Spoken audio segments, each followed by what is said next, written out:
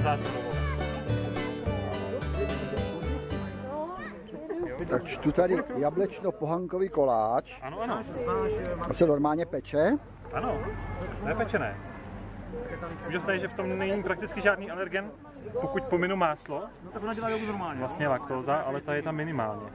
Mhm. Takže Co tady máte ještě tak zdravýho? zdravé jsou všechny věci, co tady máme dnes, teďka. Dneska všecko.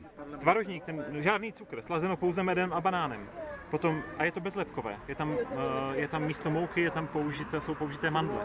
Pak tady to, to je brownie a zase bezlepkové, to znamená místo mouky jsme použili červenou řepu. Potom, potom tady to, to je raw dortík, eh, základ, eh, základ je z kokosu a potom nahoře je makovo, fíkovo, uh, banánová směs a potom nad tím je ještě banánovo, banánovo uh, kešu směs, uh, kešu s, man, s banánem a nahoře potom na tom jsou mandličky. Takže to je také žádný cukr.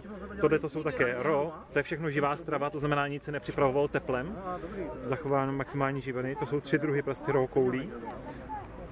A pak eh, tady ten jablečně pohankový, to je klasika. Tady to je čokoládové brownie, to už je takové na zřešení, jako, ale to je spousta čokolády, bílé i, i, i tmavé, hořké. A, nebo potom zázvor, zázvorové sušenky ze špaldové mouky. Co pak to máte? Máme španělskou polévku gazpacho. Gaspáčo toto? Ano, je to ze z čerstvých rozmixovaných rajčat, paprika, no, česnek. Potom tady máme kruti prsty s, v trojobale se sezamem, to se prodává ten No a potom tady je moje sestra, se kterou máme stánek a ta nám povíc Jo,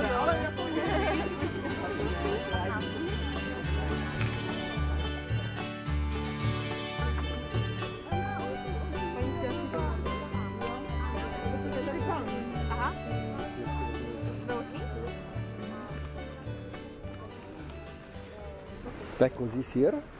Kozí jsou poslední tady tyhle. To.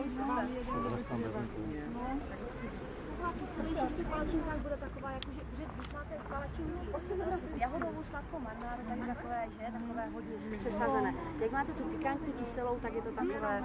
Tak mi dejte ještě. Tak my jako košičky, jo?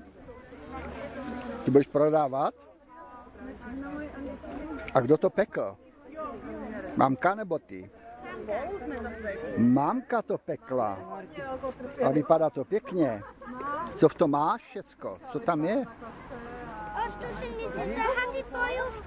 Ostružiny, borůvky, jo? A co dál? a pak Rybis, ano. bílý jibis, a pak je to Taky bílý rybis, jo? A krém. Mhm, tak jsi to popsala krásně. Vypadá to pěkně. Chci na mamku pochválit.